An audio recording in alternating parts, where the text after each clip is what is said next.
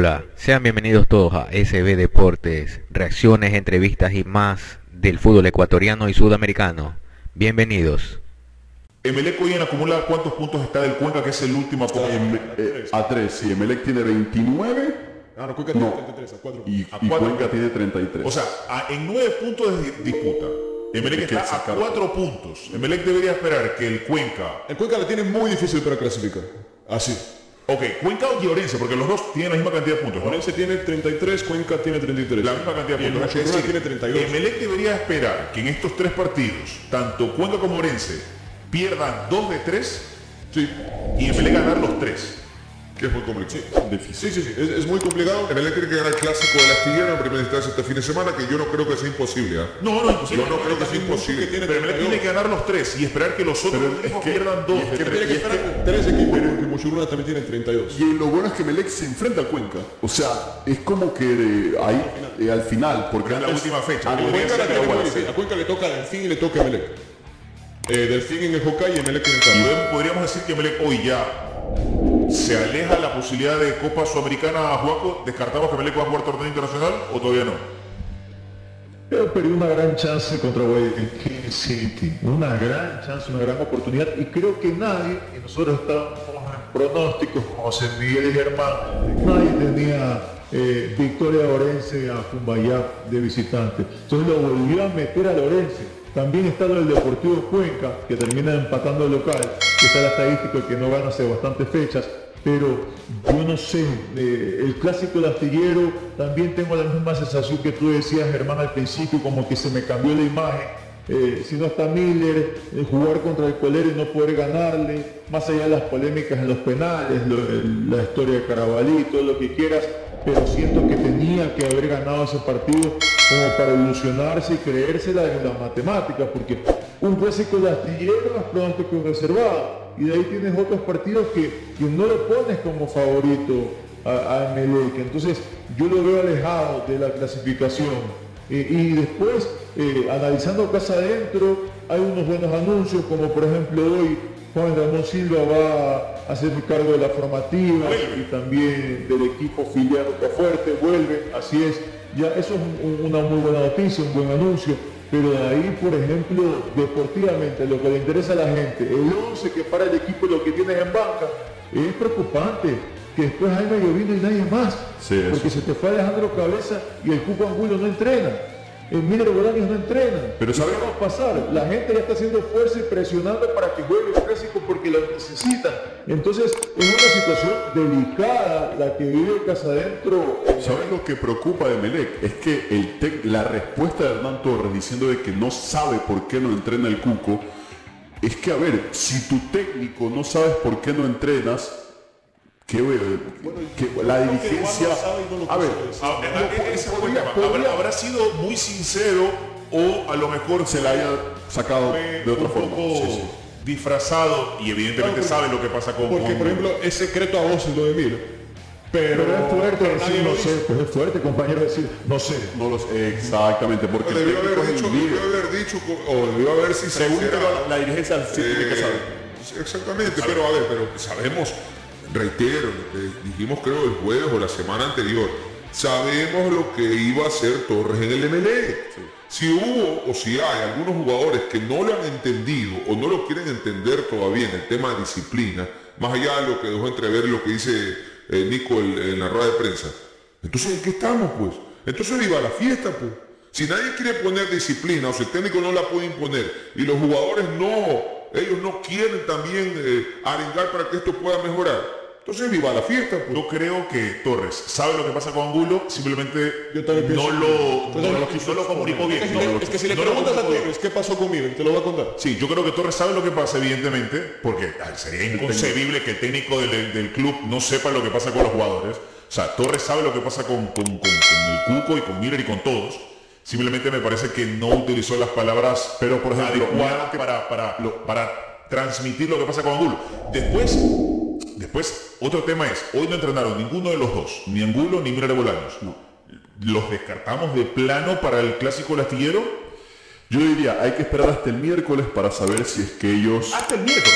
Sí. O, sea, pu- o sea, entrenando la mitad de la semana, No, no, llegar el me refiero a que tienes lunes, martes para que ellos se presenten. Si ya empiezas a entrenar recién desde el miércoles o jueves, depende de cómo se arregle toda esa situación, porque según también los colegas que cubren Emelec, dicen de que hubo una reunión entre el representante Miller y, y la dirigencia de Emelec el fin de semana, Que no se sabe igual para que qué. tampoco se sabe para qué ver, exactamente. el. Exactamente, porque si conversa con el representante me parece que puede ser un tema más contradictorio. a ver, pero, pero Piley también, el presidente de Melec, debe tratar de, de entender de lo que la gente, más allá del... Hay que poner disciplina. Hernán Torres eh, sigue con su idea de la mano dura, que fue con lo que llegó y con lo que Pero se ¿qué debe entender el presidente Claro, Lo Melec? Que, lo que digo es que el presidente de Melec tiene que entender la situación y que lo que decía el técnico. A ver, Yo la semana que- pasada les dije aquí, cuando Estefano Dueñas hizo el informe, yo les dije, si Emelec, no, si Emelec no le gana al City y, van a no muestra y no va y no muestra buenas sanciones, hoy íbamos a venir a hablar de que Emelec necesita que regrese Miller para acá. Ojo, Pero, ojo, pero hoy todo el mundo ojo, está, hoy no, todo no, el no, mundo no, está yo me desmarco de esa, yo me desmarco de eso. No, Pero digo, entiendo, digo- nosotros, me refiero, a la refiero el, ambiente, porque la semana pasada contra Católica nadie se acordó de los hinchas de Aleco refiero. Nadie habló de Miller. Pero si quedaba 1-1. Hoy sí. Pero si quedaba 1-1 el de Yo, yo respeto mucho, no a- yo respeto mucho a quienes, a quienes consideran de que debe de regresar Miller, lo respeto más allá de que no lo comparta. Muchos sabíamos cuál fue mi postura de la época, ¿se acuerdan lo que pasó en el piso 17? Y uno de los jugadores que, que o los jugadores que estaban en eso, yo le dije, bueno, a uno yo no lo traigo, en fin, o sea, son, son opiniones de cada quien. Alguien me mostraba los datos de Miller Bolaños, que ha sido importante en el MLE y él, lo, regresaría de nuevo al equipo, está bien. Para mí la disciplina es lo más importante y no me vengan a decir acá que porque ustedes son periodistas necesitas pegarte un trago, necesitas irte de borrachera. ¿Cuándo hemos llegado puntuales nosotros acá en una transmisión? ¿O hemos llegado borrachos? ¿O hemos, lle- o hemos traído acá a alguien, Julito, acá a, a- a este, a este ser? Estamos pasando No, no, un no, poco. no, no, Julito, No, no, no, lo- lo pregunto. Un poco de un esfuerzo físico. No, no, no, es que, es que la disciplina está para todos. Eso, Eso estoy de acuerdo. Por eso digo que si Hernán- Ojo, que yo respeto, ya para que vayas bajo, yo respeto mucho quien piensa distinto. ¿ah? Yo aquí no estoy condenando ningún pensamiento. Simplemente estoy diciendo el tema de la disciplina, nada más. ¿sí? Mira, eh, es, normal hablar de estos temas. Eh, lo puntual de lo que sabemos todos que el entrenador no lo quiere a Miller Bolaños en un equipo. Y estas últimas fechas las quisiera encarar con lo que tiene. Y, y yo también conozco, no digo el 100% de jugadores, pero sí hay un par de jugadores que dicen, "Oye, ya, o sea, nosotros nos sacamos la madre entrenando, eh, cumpliendo, siendo disciplinados, y, tampoco es que le vamos a robar a este man que se ha comprometido con el equipo, porque también, eh, insisto, eh, es un gran jugador Miller Bolaños, pero no está Adrier, no está Chilier, no está Bambir, no están los de antes que decían no aguantémoslo, sostengámoslo. No está el Felipe que dice yo lo manejo a él, tranquilo, yo sí le voy a tolerar esto y voy a hablar con el grupo como para que nadie se me descienda ni nada. No, acá un entrenador que vino con un discurso y que de entrada le planteó los puntos a, a Miller. No fue uno, fueron varios. Ya y, y más bravo el jugador. Yo he sido, y lo que ustedes me han seguido y me han escuchado, saben muy bien que yo sí soy de dar varias oportunidades, eh, miles de oportunidades. Y he contado miles de casos del fútbol ecuatoriano que lamentablemente muchas veces el talento eh, se ha impuesto a, a este tema de la disciplina. Pasó con Alves, pasó con Miller Bolaños, ha pasado con varios jugadores. Todos han tenido algún indisciplinado, algún jugador que ha llegado tarde, algún incumplido, Carcelén en Barcelona en su momento, y así la lista es, es- interminable, ¿no? Entonces, eh, en este momento, el hincha de lo quiere para el clásico, lo quiere sí o sí, pero cuando fueron a ver este tipo de entrenador, ahí se hace un estudio, el estudio es completo. A ver, ¿cómo es este entrenador? ¿Es lo que necesitamos para el equipo o no? ¿Es paternalista? Eh, ¿No es disciplinado 100%? Bueno, no se va a dejar ver la... Vamos con esto. Pero lo contrataste a Miller Bolaño. Sabes lo que tenías. Y hay otros, otros jugadores que yo no voy a agarrar los nombres, pero hay otros que también son iguales. Entonces, eh, ahí entra el manejo Y el presidente tiene que respaldar la decisión del entrenador, por más que el presidente quisiera Miller Bolaños en la cancha. No fue a entrenar hoy, no va a entrenar mañana. Ya está, ya está. Ya de hablar de Miller Bolaños no se puede, porque no es parte hoy del equipo, no está entrenando el equipo, por más que sea el mejor del mundo, no está entrenando en el equipo. Y para el entrenador fue una falta grave una falta de grave que lo supera y que ha dicho encaro esta parte final con los jugadores que tengo Lo, lo de. Melec, lo de Melec este año ha sido para el olvido. Indisciplina no solo con Hernán Torres, recordemos que en su momento se habló. ¿Por qué? Muchos preguntaban, ¿por qué no está JJ Sánchez? Ah, no, decisión técnica. ¿Por qué no está Lastre en un- en unos partidos? Ah, no, decisión técnica. Entonces se han venido manejando en un año para el olvido en esta primera dirigencia encabezada Nico. por el señor José Pilín. Diga. Lo último, lo último. Vayan a ver la serie Netflix de David Beckham y lo que contaban de Ferguson, que yo lo puse en Twitter citándole a un tipo porque cuatro años atrás dice, vuelve Alves, vuelve Alves, está casado, está estable. Ya, y tuvo una buena temporada en ese momento cuando estaba casado. Después volvió a la soltería y fue más difícil eh, sostenerlo. No es de loco que lo digo. No, eh, pasa y vayan averigüen qué sucedió. Sí, en el el- Miller del primer semestre con el Miller del segundo semestre. En el mismo- Es sencillito y el fútbol es esto, el fútbol es esto por si acaso. No es hablar de farándula, no.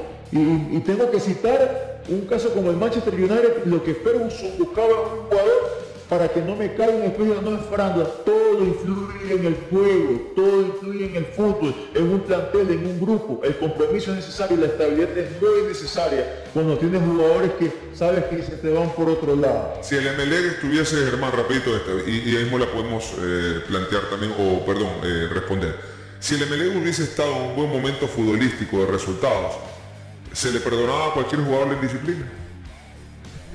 O sea, ¿se le perdonaba a quién? ¿Los hinchas o el técnico? No, hablamos del cuerpo técnico, hablamos de evidencias, si- si hubiese- lo que pasó, por ejemplo, en ver, si antecedentes. Yo te digo que no porque creo que Torres ha demostrado en contextos más complejos Claro, que, si Hernán que la Torres va a no- seguir con ese contexto histórico de la mano dura que tiene Miller Baños, no Es debería más, jugar nunca es más en más, MLE. es más, es más, yo te, te, te reafirmo que no, no hubiese sido diferente porque Torres en la mala, con malos resultados, en un mal momento deportivo, él, él termina diciendo la disciplina por encima de todo. Si hubiese estado bien deportivamente, con más razón pues, hubiese dicho, sí estamos bien. Él no es, él Por no eso está bien, porque ahí, tenemos las diferencias. Técnicos paternalistas y técnicos que no se dejan llevar ni por el buen ni por el mal momento en Ahora, temas de sí disciplina. es cierto que eh, desde la parte técnico se entiende y también que el presidente respalde esta decisión, pero también es cierto que Angulo y Miller tienen contratos y no termina ahora, sino tienen contratos por más tiempo y ahí el tema contractual habría que resolver porque claro, ha, ha recibido tantos contratos, tantos inconvenientes contractuales que habrá que ver cómo, cómo sale toda esta situación. se acobarda, por decirlo así, es Almeida. El, el tipo gritaba en el borde, gritaba, no apurado, tranquilo, tómate tu tiempo. Y el equipo comenzó a hacer tiempo al minuto 25. Porque Barcelona lo estaba pasando y lo estaba pasando, ellos atrás. Y mi cuenta en el minuto, no, minuto 3 de la segunda parte se tiró acalambrado. cabeza se comenzó a amarrar los zapatos, pedía que le amarren los zapatos en el minuto 25. Entonces, estaba acobardado el Nacional ayer. Eso, eso, eso viene de, de la época del trompudo guerra, pues eso de que de atarse el, el pasador. Pero eso quién lo hace, el que quiere ir a ganar. eso, pero era la disposición del entrenador de, de aguantar. Él estaba aplacar, pidiendo, sí, aguanten, que Él- él- aguanten, él lo que aguanten. dice Arturo, pero mira, son este, no podían dar tres pases seguidos. Porque Barcelona presionaba. Eh, Pero por eso te estoy diciendo, Barcelona, para mí, eso ha sido siempre los primeros tiempos de Barcelona. Depende, con Libertad no lo hizo, le fue mal. Pero, pero, eh, eh, y otro dato, se, se desmitifica que con Díaz no se puede presionar, con Cortés no se puede presionar. No, Díaz sí se puede presionar. es- es de hecho, se diferente. demostró. Bueno, yo quería lo que dice. Yo le digo algo, Pepín. Es lo que dice. Usted me va a dar la razón y el día miércoles del, del programa que tuvimos la semana pasada, yo lo manifesté. El tema de la cancha. Yo no sé si cuando usted jugaba en una cancha como el Monumental y de ahí se iba a jugar a Puerto Viejo, a Quevedo, era lo mismo. No era lo mismo. No, no era lo la, mismo. la cancha de, de- de Machala no es la misma por más de que cambiaron el, el, el, el césped. sí. No es lo mismo. Estoy de acuerdo, pero, pero revisa En cómo... Quito Díaz se siente mejor en un tapete Yo estoy y de acuerdo y te diría que es indiscutible, pero tampoco es que es imposible. De hecho, la mejoría de Barcelona cuando remonta es la pelota en el piso. sí. No es pelotazo. Está Ojo, bien. Es decir, se puede jugar de otra manera. Y mira, primer hay, errores marcados en el Nacional también, ojo. porque Alex habla del arquero en el gol de, en el segundo gol. Yo te Pero no puede ser posible que el polaco esté parado solo Ah, marca, qué bien. en medio de los Qué dos. bueno. Tengo, eh, hoy No, día la- no obliga al arquero No, a no, algo, ahí, ahí voy a decir. ¿Cómo marca el Nacional? En zona, Zona, zona, zona. Zona, zona. Se aprovecha el en el análisis que hice justamente remarco ese error, que no es solo de cabeza, cabeza queda marcado en el error. Pero por ejemplo, baja a Bayro Palacios y tiene a Paco y tiene a Fidrisewski. Palacios toma a Paco, porque tiene que tomar a uno de los dos. Toma a Paco y lo deja libre a Fidrisewski. Cuatro en todos los 5,50, uno en el palo, un rebotero y Ordóñez que estaba cerca del córner corto. ¿Verdad? Esa fue la distribución de la marca. Zonal, nadie tomó personal a Polaco. A ver, ya. Son maneras y maneras. Hay quienes dicen que eso está bien y quienes dicen que no. Yo creo que, yo creo más en las marcas mixtas. Determinados elementos para zona, pero hay que tomar también determinadas referencias puntuales. Polaco estaba increíblemente solo. Solo. Nadie lo marcaba. Te voy a complementar es en un algo, detalle. eh, eh, Ya te voy a Arturo, te voy a complementar en algo y que yo lo, lo- hice a título personal. servidor. Ya. Ahora. Exacto. No, el tema del arquero. Doble error del arquero. Salió mal y también él es el que manifiesta viendo toda la situación hacia ¿A quién? al frente. ¿Cuál es tu- el delantero más importante que tiene Barcelona? Pero eso no decir polaco. que- Entonces, no, escúchame. No, no, no, pero el, el, No, el- el el- a técnico. ver, el técnico decide, Ah, sabe que nosotros- marquemos Pero si yo lo veo solo, oye, cógelo al polaco, pues. No, como entonces, arquero, entonces usted está convirtiéndose en un tipo que rompe la disciplina.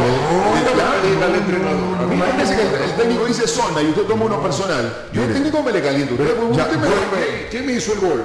El goleador es responsable. Son los el arquero. son los riesgos. Son los riesgos que tienen que tomar. Mira, yo te digo una cosa, Arturo, y con el respeto que se merece el profesor Ever Hugo Almeida. O sea, lo yo zona. Escúcheme, yo cuando dirigí Barcelona, en mis observaciones era, ¿el goleador quién es? La Tuca. ¿El otro goleador quién es? Garcés. Herrera. Arriaga, los dos que tienen zagueros centro que tienen mejor eh, juego aéreo, agarre a cada uno. Exactamente, agarre. Pero el delantero que está marcando goles, goleador, tú lo vas a dejar solo y lo vas a dejar en zona. Es marca sin nada. En serio le digo. Y ahí se les pasó a ellos. Aparte el error, como dice la coqueta del arquero que salió a- a- al vuelo y dejó, a- dejó el tiro ahí. ¿Qué hizo? ¿Y qué hizo la- el polaco? Se adelantó dos pasitos y hizo. Nadie lo más. Un goleador no lo puede dejar solo. Es una marca sin nada. Yo le digo. un Elizaga ahí. Una si no llega, Ya. si no llega, te lo va llevando con Exactamente. aparte el penalti, lo que hizo Moisés Él se quedaba en la Ramírez línea, aquí. el arquero se quedaba en la línea, ¿cómo la cogía la pelota? La segunda. O sale o no sale. Ya, y los zagueros centro nacional. Yo le digo, miren los partidos atrás, ellos hacen falta penalti ahí. Es de esa misma, igualita. ¿Saben por qué? Lo que él dijo. Ellos porque todavía no tienen esa experiencia, pero si lo dejaban avanzar no pasaba nada. Ojo, no queremos descalificar la victoria de Barcelona porque el primer gol llegó bien, bien facturado. Hermoso gol del polaco, pero me hubiese gustado ¿Quién le que el él, pase? que él ¿Quién le el pase a- el allá en el Corozo? ¿Quién le dio? La, La de y el tiro libre. Pepín, Pepín dio el detalle. No, no sé si se acuerdan cómo inicia la jugada. En un Barcelona que en ese momento estaba volviéndose loco yendo frontal. es te dice, no, no, no, espere, espere. Lo aguanta y juega en chiquito. Claro, chiquito. poquito. Y ahí mete un pase de crack. No, Díaz No, tiene claro. Y otra, otra mentalidad. Digo, yo creo que eso fue lo bueno de Barcelona. A lo mejor los cambios pu- pudieron ayudar muchísimo a Barcelona porque Nacional no se hallaba. y se encontró con ese segundo Mira, gol que fue el- bien el- trabajado porque primera- eso es de, de- laboratorio. es. La primera ventana, la primera ventana de cambios de Barcelona me parece adecuada por tiempo, por situación de partido, porque era refrescar. Cuando ya se pone 3 a 1, ya, dije- ya los técnicos dijeron, bueno, ya está listo, ahora sí, vamos a refrescar. más. ¿No? Y lo mete en el corte. Cuando Nacional, al ratito, golpea y hace el 3-2. Y ahí se complica nuevamente el partido. le quedó una a Borja. Una que bajó Palacio se la bajó a él. Sí, sí, sí. no me recuerdo si fue Solís que remató. Al y le 13, quedó la al mano 13, a- al 13, al 13. ¿Cuándo se le facilita al Quito Díaz el juego?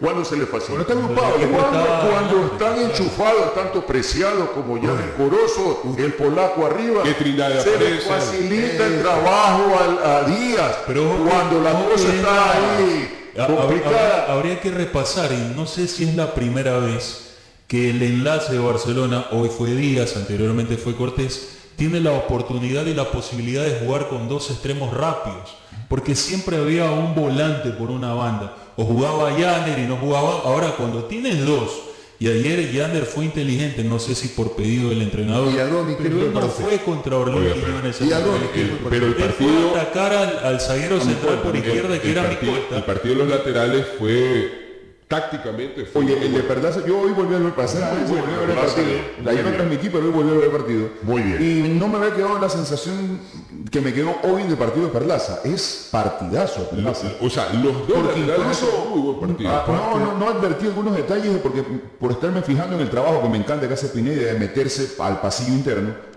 Perlaza lo hizo un montón de veces bien para dejarlo allá en, amplitud y sacarlo a Micolta. De hecho, el gol, si tú te fijas, Micolta es la única, el primer duelo que pierde Micolta con Janner es ese, en el gol de, Polaco.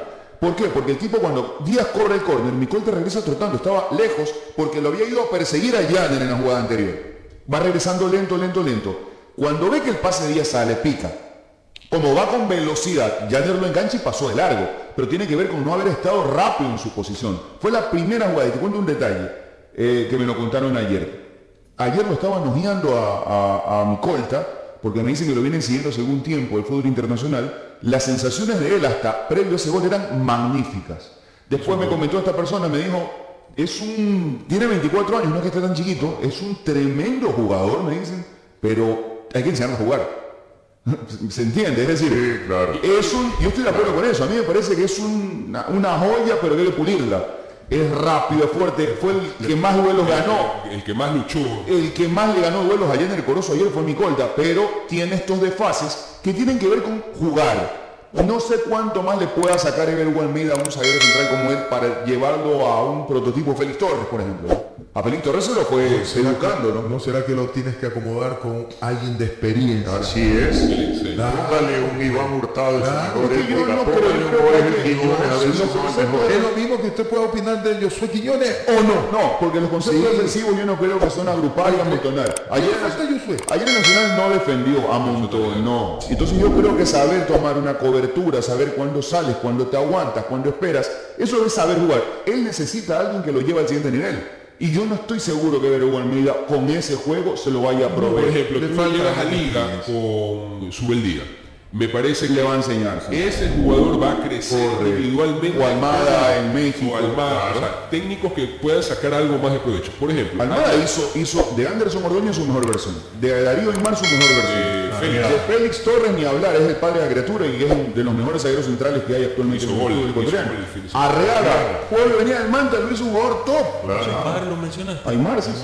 oiga eh, otro detalle Pero Barcelona él, él siempre decía, a ver, llegan, les veo condiciones, pero que se van a jugar después, porque que hayan jugado no quiere decir que sepan jugar. que quieren aprender porque tú le puedes enseñar Es que saber jugar tiene que saber con tiempo, espacio, cuándo, cuando rompes línea, cuando te quedas. Bueno, ahí aprendieron. Y decía, es increíble que el jugador ecuatoriano es tan bueno, pero lleguen a profesionales y no sepan esto que en Uruguay se aprende a los 15, a los 12, a los 11.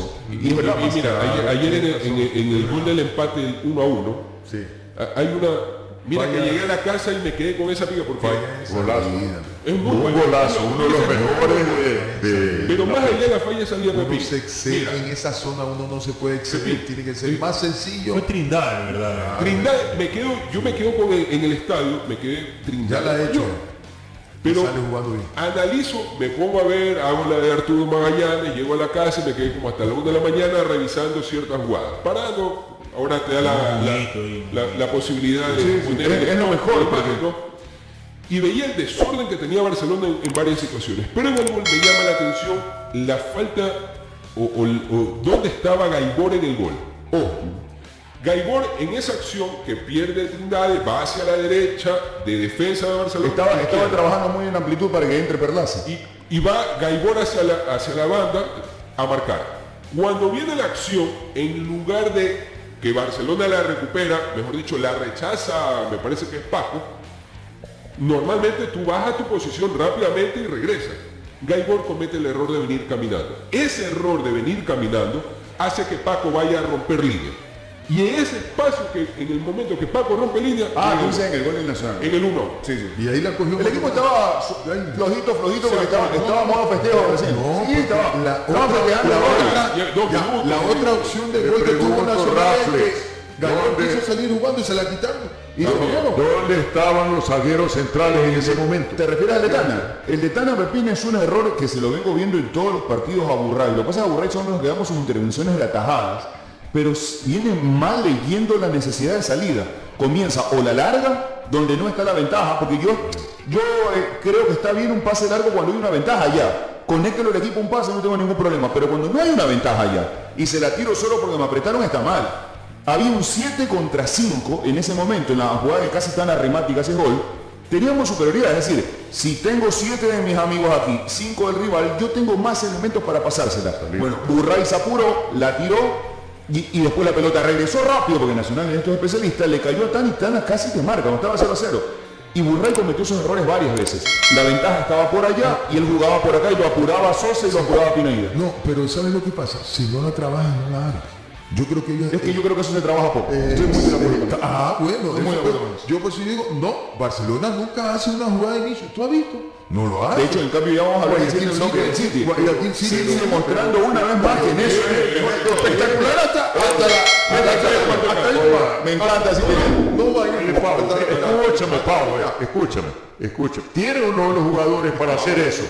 eso es- ¿Tiene o no Barcelona los jugadores para hacer eso? tiene. A Perlaza, que estaba en un excelente nivel, juegue con él. correcto, y está libre. Y, es libre, sí, es libre. Oiga, Ramírez, Ramírez, uno de los de lo, lo- lo positivo que tiene de él, que destacarlo, es de que nunca la tira, sale jugando. siempre. Estoy de acuerdo con el eso. delantero lo está, lo está presionando en el punto penal y él sale Estoy de jugando. acuerdo, pero que el gol que le hacen a Liga, el 1 a 0, es un error de Ramírez por sobrado, no por no saber, por sobrado, porque la ventaja la tenía en otro lugar, la tira larga, Leonel Quiñones corta, porque ahí no había una ventaja, regresa la pelota y es el gol.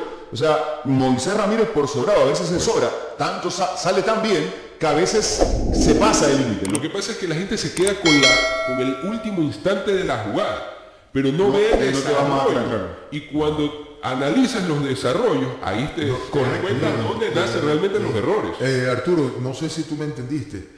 Hubo otra mismo ah, que quiso salir. Gaibor, Gaibor. que la pierde por la derecha. Amágase acá y sale por la izquierda y se la roban y se fueron. Ahí Él se otro demo- gol de que se demoró En dos, cambio, tres segundos. Él se excedió de confianza porque la verdad él es un jugador muy técnico y tal vez si él no cambia de, de marcha, le pone otra, lo van a pasar por encima, la verdad. Y ese fue otro error de los dos Pero, volantes oiga, centrales. al director usted no lo escuchó en una transmisión o, o aquí en el comentario. Prefiero mil veces que la pierdan así a que metan un pelotazo. Sí, totalmente. Sí, o- usted no era así. ¿Cuántas veces? O sea, vémoslo. Ve, ve, ve, los goles usted jugadas. ¿Usted Pero también, pues, cuando, cuando- ¿Corta o larga? No. ¿Qué quiere? Ven, dígame. A ver, a usted es defensor, usted es el último hombre, usted inicia la jugada, usted es el golero. ¿Qué quiere ahí cuando está bien, se va, Quiera, está bien. ¿Corta o larga? Está bien, se Pero dígame. con el trompudo jugamos pero pelotazo hacia arriba. Allí sobre el tanque. ¿Corta o y larga? ¿Corta o larga? El sistema que usted quiera.